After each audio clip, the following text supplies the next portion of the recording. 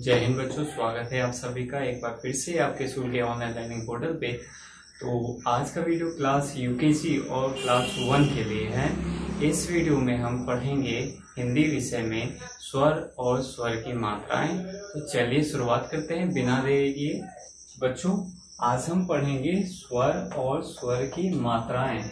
स्वर हमने पढ़ा था, स्वर किसे कहते हैं, कितने होते हैं? तो स्वर होते हैं ग्यारह। हिंदी में स्वर होते हैं ग्यारह तो सब यहाँ पर स्वर लिखे गए हैं और उसके साथ उसकी मात्राएँ भी लिखी गई है। आज हम यही पढ़ेंगे स्वर स्वर की मात्राएँ। कैसे हम स्वर को समझते हैं, स्वर कैसे बोले जाते हैं और कैसे मात्राओं के साथ लिखे जाते हैं, वो भी हम इस वीडियो में समझेंगे। तो चलिए शुरुआत करते हैं पहले स्वर से। तो पहले हम स्वरों का उच्चारण करना सीख ले। चलिए इसको हम बोलते हैं अ आ, ई ई, उ उ, री, ए, ऐ ओ औ। ये सभी स्वर हैं तो चलिए इनकी मात्राएँ देखते हैं। अब मात्रा अ की अ की कोई मात्रा नहीं होती है, आ की मात्रा है, ये हर्षी की मात्रा है, ये, तिरगी की मात्रा है, ये हर्ष ऊ की मात्रा है ये और दीर्घ ऊ की मात्रा है ये।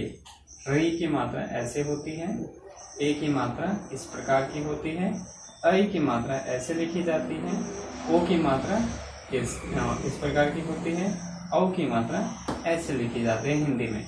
चलिए अभी इन स्वरों को हम, स्वर मूल रूप में कैसे हम शब्द में बनाते हैं तो देखिए, स्वर अ है तो अ से हमने शब्द बनाया, अब। स्वर अ है तो अ से अ से क्या शब्द बना? अब आ। स्वर क्या है? स्वर है आ। तो आ को हमने सीधा का सीधा, यानी मूल रूप में उतारा है। आ लिख के फिर हमने एक और अक्षर जोड़ा इसमें जो शब्द बना आम।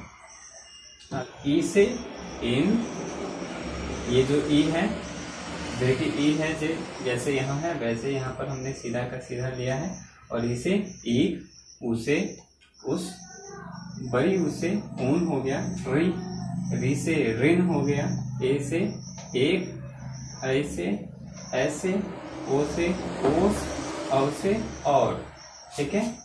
तो यहाँ पर जो ये सभी स्वर लिखे थे, इनको सीधा का सीधा यहाँ पर हमने बिल्कुल स्वर आप देख सकते हैं। यही स्वर यहाँ पर अग्रभाग में यहाँ यही स्वर आपको दिखाई देंगे। जो सर स्वर यहाँ पर है, वही स्वर आपको यहाँ पहला अक्षर स्वर का ही है, ठीक है? और बाद में हम एक और, दूसरा नया अक्षर जोड़ के इसे शब्द के रूप में हमने लिखा है, ठीक है? तो अब हम देखते हैं कि इन स्वरों की मात्राओं को, इन स्वरों की मात्राओं को कैसे हम शब्दों के साथ मिलाकर लिख सकते हैं, ठीक है? तो कैसे लिखे जाते हैं वो देखते हैं। जैसे कि अ की कोई मात्रा नहीं होती है तो फल में, फ में और तो ऐसे आ ही जाता है, ठीक है? तो बिना मात्रा का फल होता है, ठीक है? यानी कि ये क्या है? ये बिना मात्रा का शब्द है, ठीक है? इसे बिना मात्रा वाले शब्द कहेंगे। अब देखिए, आ तो आ का ये ये जो मात्रा है, ये यहाँ पर ब के बाद लग गई है, ठीक है? ये वाली मात्रा किसकी मात्रा है आ की मात्रा है।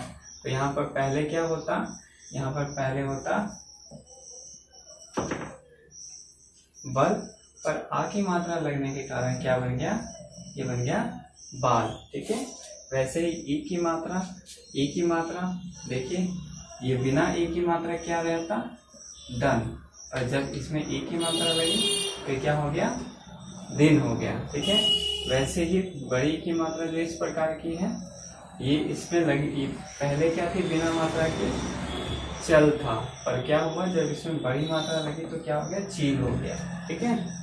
तो वैसे ये क्या था? ऊ मात्रा लगने के, लगने से पहले क्या था? पल था। जब हमने ये वाली मात्रा इसमें लगा दी तो ये हो गई पुल ठीक है? वैसे ही ये वाली जो थी ये दध लिखा हुआ था। और जब हमने बड़ी की मात्रा लगाई बन गया? दूध बन गया। अब हमने री की मात्रा, री की मात्रा हमने इसमें गौ में लगाई।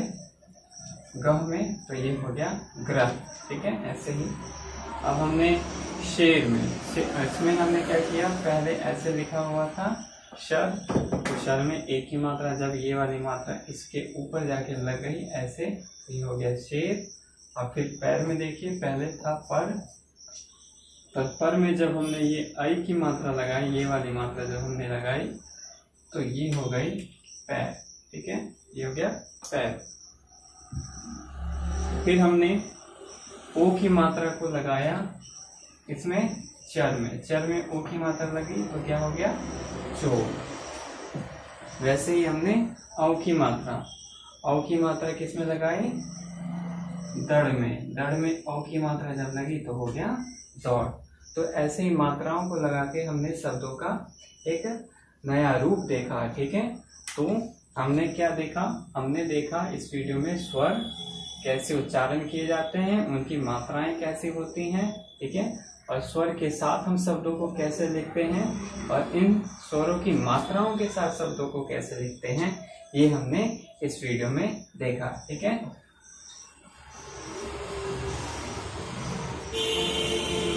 स्वर तो स्वर की मात्रा लगने के बाद ये शब्द बनते हैं, ठीक? है तो आशा करते हैं आपको ये समझ में आया होगा, ठीक है?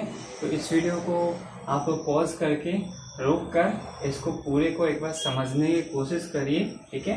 कि किसको कैसे हमने मिलाया है, अगर नहीं समझ अगर नहीं समझ में आता है तो इस वीडियो को दो से तीन बार देखिए, आपको यकीनन समझ में आ जाएगा, ठीक है? बहुत ही आसान है।